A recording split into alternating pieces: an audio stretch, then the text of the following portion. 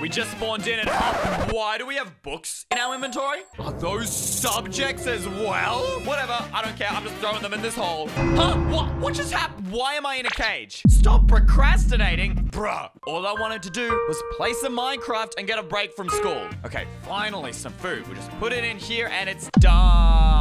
What is this? You can't eat in class. My brother, I am literally in Minecraft. My teacher can't see me. Let's go. Finally found some diamonds. Now we can make an iron helmet and I'll be safe. Are you serious? I can't put it on. What is this book? Hats are distracting and not safe. This isn't even a hat. It's protection. Ugh, I can't do anything. Can't eat, can't make stuff. There's nothing to do. And missing a.